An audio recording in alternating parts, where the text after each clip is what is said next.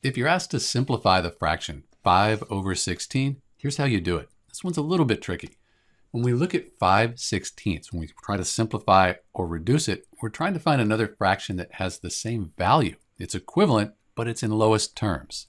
So we need to find a common multiple, a multiple that goes into 5 and 16. Maybe the easiest way is just to list the factors of 5 and 16. For 5, we could have 1 times 5, that equals 5, but that's it. For 16, we could do 1 times 16, 2 times 8, 4 times 4, and that's it for 16. So we want to find this common multiple between 5 and 16, the greatest common multiple. But the only thing we see is 1. And that's because 5 sixteenths, it's in lowest form already. It's already been simplified. This fraction, we just can't reduce it any further. So in answer to our question, when you try to simplify the fraction 5 over 16, you get 5 over 16. This is Dr. B. Thanks for watching.